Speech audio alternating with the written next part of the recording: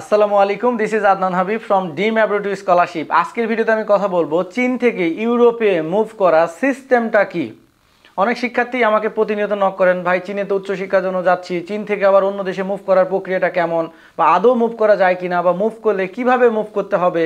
এই বিষয়গুলো নিয়ে কিন্তু একটা বড় অংশ শিক্ষার্থী কনফিউশনে রয়েছে, যারা অলরেডি চীনে অধ্যয়নরত আছে, অথবা একটা বড় অংশ শিক্ষার্থী যারা নতুন করে চীনে অ্যাডমিশন নিবে ভাবছে। আজকে আমি এই চীন থেকে ইউরোপে বা অস্ট্রেলিয়া, কানাডাতে মুভ করার সিস্টেমগুলো নিয়ে একটু কথা বলব আপনাদের সাথে। আশা করছি এই সংক্রান্ত ব্যাপারে যারা তথ্য খুঁজছেন, আজকের ভিডিওতে অনেক বেশি ইনফরমেশন পাবেন। প্রতি বছর কিন্তু চীনে উচ্চশিক্ষায় আগ্রহী শিক্ষার্থীর সংখ্যা দ্বিগুণ হারে বৃদ্ধি পাচ্ছে। চাইনিজ ইউনিভার্সিটিগুলোর এত এত স্কলারশিপ ফ্যাসিলিটিস বিশ্ববিদ্যালয় ওয়ার্ল্ড র্যাঙ্কিং লাইফস্টাইল একটা আইডিয়াল স্টুডেন্ট লাইফ সব কিছু মিলিয়ে একটা কম খরচের ভিতরে একটা একটা আদর্শ স্টুডেন্ট লাইফ একমাত্র চীনেই পাওয়া যাবে। আর চীন যে পরিমাণ স্কলারশিপ দিচ্ছে ওয়ার্ল্ডের অন্যান্য দেশ এত স্কলারশিপ দেয় বলে আমার জানা নাই। হিউজ স্কলারশিপ দিচ্ছে। এবং স্কলারশিপ দিচ্ছে মানে যে তাদের ইউনিভার্সিটিগুলো খারাপ তা কিন্তু না। তাদের ভালো ভালো বিশ্ববিদ্যালয়গুলোই কিন্তু স্কলারশিপ দিচ্ছে, যেগুলো টপ র্যাঙ্কিং পাবলিক বিশ্ববিদ্যালয়। ঠিক আছে? এখন আপনি হয়তো বাজেট স্বল্পতার কারণে বা অর্থনৈতিক সংকটের কারণে চীনে আসছেন ব্যাচেলর প্রোগ্রামের জন্য বাট আপনার আলটিমেট প্ল্যান হচ্ছে চীন থেকে আপনার কোর্সটা শেষ করার পরে আপনি ইউরোপ, অস্ট্রেলিয়া, কানাডা এই দেশগুলোতে আপনি মুভ করবেন। তাহলে প্ল্যানিংটা কীভাবে করবেন? শুরুতে যখন আপনি চায়নাতে প্রথম ঢুকবেন, অথবা চায়নাতে যারা এখন বর্তমান অধ্যয়নরত আছেন, আপনি চীনে ঢোকার পরে বা চীনে আসার পরে সর্বপ্রথম আপনার আপনার ক্যারিয়ারের প্ল্যানিংটা ঠিক করে নেবেন। যে আপনি চীনে হয়তো ব্যাচেলারে আসলেন বা ডিপ্লোমাতে আসলেন বা মাস্টার্সে আসলেন।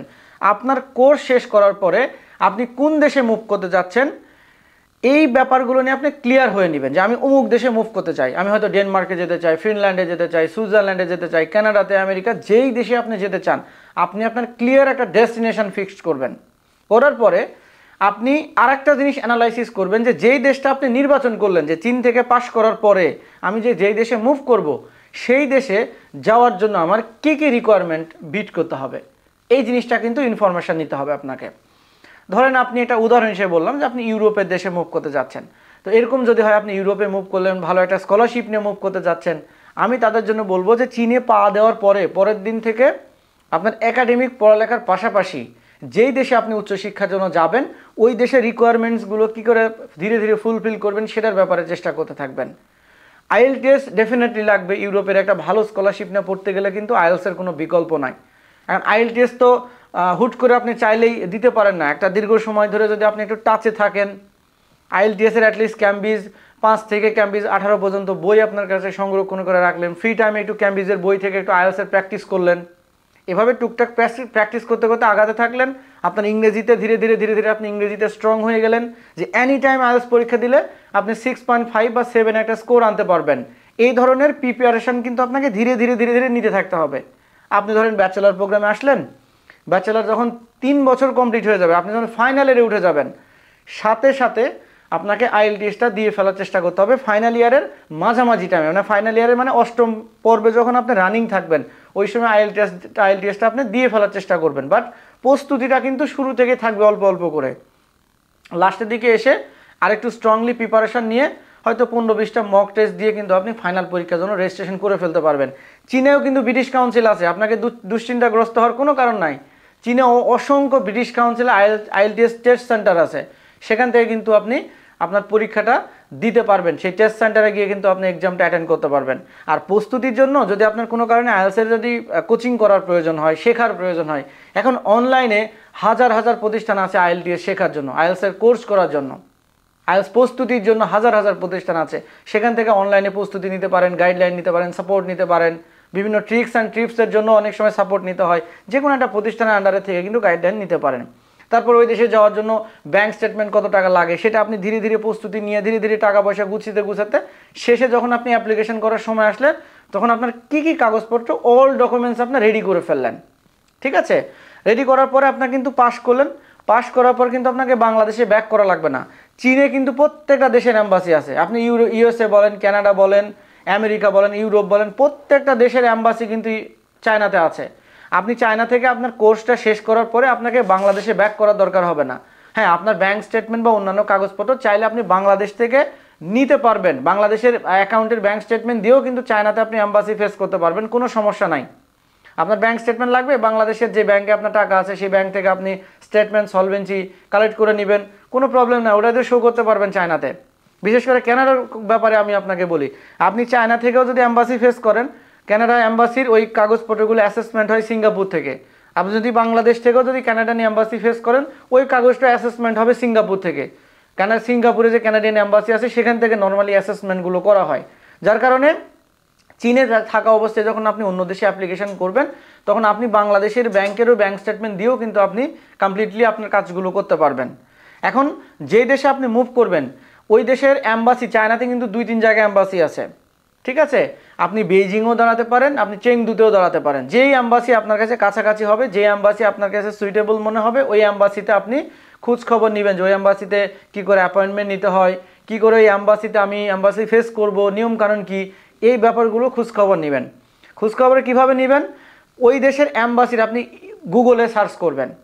ধরেন আপনি কোরিয়াতে ট্যুরিস্ট ভিসাতে যাবেন বা ক্যানাডাতে আপনি স্টাডি পারমিটে যাবেন মাস্টার্স করার জন্য। আপনি ওই দেশের অ্যাম্বাসি গুগলে খোঁজ করবেন যেমন হচ্ছে ক্যানাডিয়ান অ্যাম্বাসি ইন চায়না হয়তো চেংদুলিকে সার্চ করলেন। অ্যাম্বাসির ওয়েবসাইটে উইচ্যাট কন্ট্যাক্ট কার্ড পাবেন উইচ্যাটের নাম্বার পাবেন, ওখানে ওদের ফোন নাম্বার আছে ডিটেলস আছে। আপনি কল দিয়েও কিন্তু বিস্তারিত কথা বলে জেনে নিতে পারবেন যে তাদের অ্যাম্বাসি ফেস করার পলিসিটা কি? ফরেন নাগরিক যারা বা ফরেন স্টুডেন্ট যারা যারা চীনে অধ্যয়নরত আছে, বাংলাদেশি শিক্ষার্থী, তার ওখানে অ্যাম্বাসি ফেস করার পলিসি কি? কী কী এক্সট্রা ডকুমেন্টস প্রয়োজন হবে অ্যাম্বাসি ফেস করার জন্য?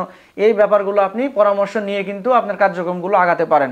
যেহেতু আপনি চীনে একটা দীর্ঘদিন চীনে থাকছেন, আপনার এতটুকু অ্যাবিলিটি তৈরি হয়েছে যে ব্যাপারগুলো নিজে করতে পারবেন খোঁজ খবর নেওয়া, এই করা, সেই করা, আশা করি এতটুকু অ্যাবিলিটি আপনার তৈরি হবে প্রসেসগুলোতে একা একা করার জন্য। একা একা যদি করতে না পারেন, আমরা রয়েছি, আমাদের সহযোগিতা নিতে পারবেন, আমাদের সাথে কথা বলতে পারবেন, পরামর্শ নিতে পারবেন গাইডলাইনও নিতে পারবেন।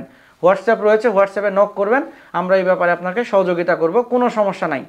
ঠিক আছে? আমরা চাই বাংলাদেশি শিক্ষার্থী ভাই বোন চীন থেকে হাজার হাজার শিক্ষার্থী ইউরোপ, অস্ট্রেলিয়া কানাডাতে যাক, সফল হোক, ভালো কিছু করুক, তাদের জন্য দোয়া, ভালোবাসা সবসময় তারা ভালো কিছু করলে আমাদেরই ভালো লাগবে।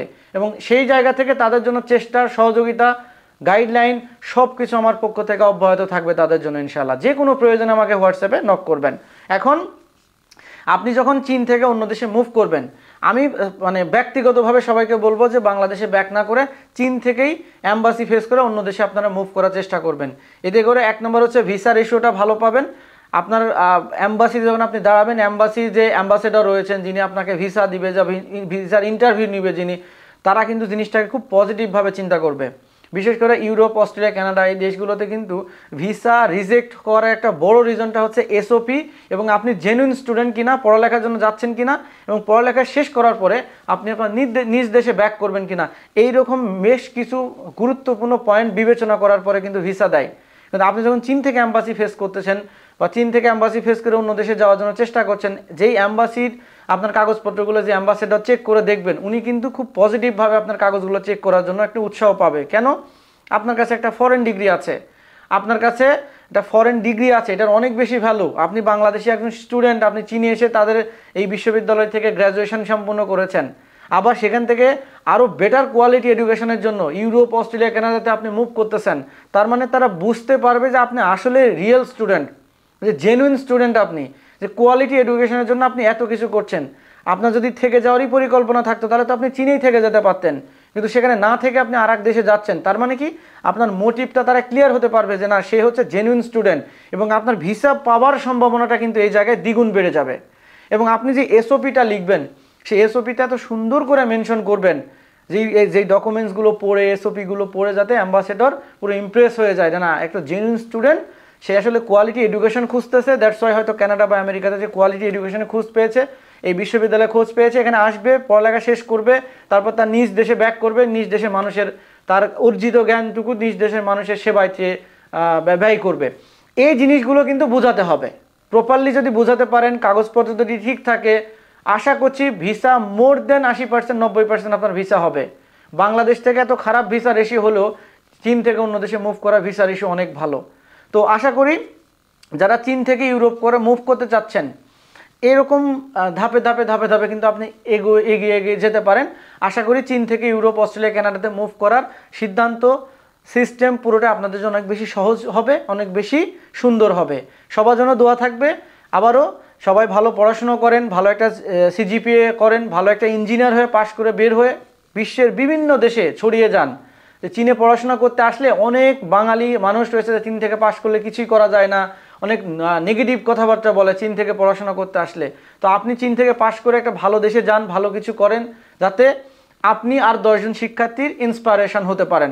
যে আপনাকে দেখে যাতে আর দশজন শিক্ষার্থী শিখতে পারে যে, অমুক ভাই চীন থেকে পাশ করে অমুক আমেরিকাতে চলে গেছে, কানাডাতে চলে গেছে, ইউরোপে চলে গেছে। আপনাকে দেখে আর দশজন যাতে উৎসাহ পায়।